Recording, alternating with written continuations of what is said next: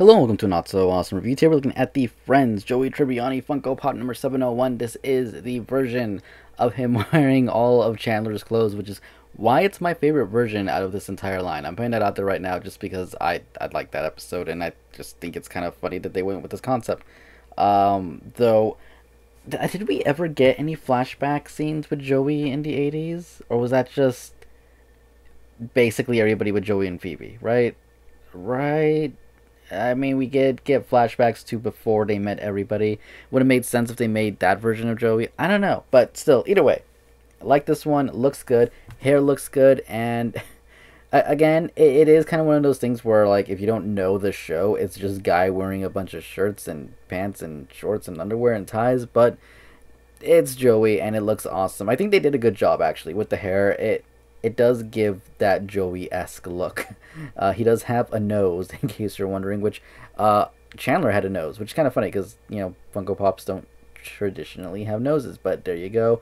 The hair looks good, the eyebrows look good, the eyes and everything. He can turn his head left and right, and his hands are out. He's wearing all of Chandler's clothes and uh, yeah, it it's cool. It looks cool. I love the layers and stuff. There is some paint issues, but I mean that's typical of any Funko Pop, so I'm not gonna complain too much. I like it. You can see a bunch of different ties on his chest, different. I'm assuming shorts and underwear, different shirts on, and it's just funny because wasn't it about a good year, year and a half ago, maybe two years? I, I don't know. I judging time uh, they had that weird Hundred Layers challenge, and a lot of people were doing Hundred Layers clothes. Well, fun fact, Joey did it first, so there you go. But uh, yeah, it's a cool looking pop, and I do recommend it if you are a fan of the show, if you're a fan of the character, go for it. There is a regular version of Joey. I don't remember what was different about it. I don't remember what was different about most of them. I know Chandler was holding a duck, I think. Um, I don't remember what the other uh, versions of them had or did because I well I, I never actually had them and probably only saw them in the store as a set like once. But either way, awesome pop. And for a quick size comparison or just comparison nonetheless, whatever. Here he is next to Chandler, and yeah, that's cool. It's awesome, and I love it. Um, I, I kind of hope they keep making them.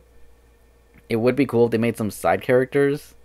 It would be cool if they made one of those diorama scenes where they're sitting at the uh, the couch. But I don't know. Um, either way, it's cool pop. Nothing else to say here other than I hope you guys enjoyed the review. If you did, hit the like button, comment down below, subscribe for more. This review was brought to you guys by the AV Pop Shop.